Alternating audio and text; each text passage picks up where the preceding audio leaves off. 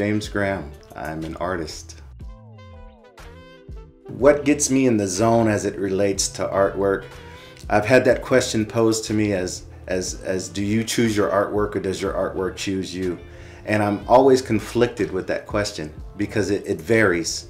It varies. There are there are moments where I'm really having to uh, uh, push myself through the creative process. I'm trying to I'm trying to discipline myself to create something every day that's a result of me just realizing I was created to create. So um, it, it, varies. It could be music. It could be something my wife said to me. It, could be a devotion that I, I, did that morning.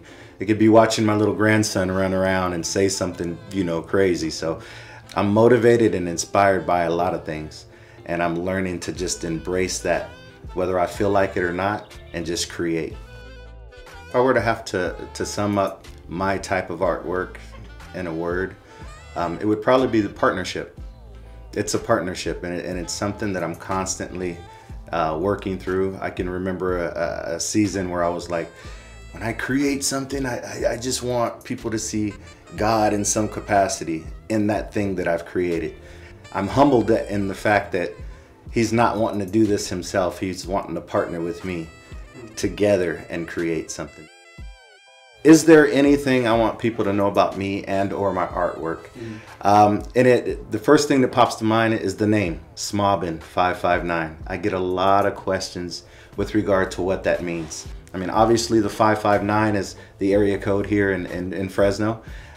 And so, so mobbing, the word mobbing is basically how I've always been taught to get through life. You're gonna have your ups, you're gonna have your downs, and you're gonna have a whole lot of in between. You know, I know a lot of people who are, are, stumbling through it and it looks all kinds of ways. But that's not been my personal experience. Like I've always been taught to keep it moving, mob through it. Um, the S represents, and, and really religious people call it sin. I call it stuff. Um, and we all have it. And my take on the S in smobbing is that I'm not gonna look at you some kind of way because your stuff looks different than mine. You know, you drink, I smoke. You lie, I steal. We all have stuff. So I put the S in front of mobbing and it says smobbing. And basically what that means is we're just going through life with our stuff. That's what I want people to know about me. Ha ha ha.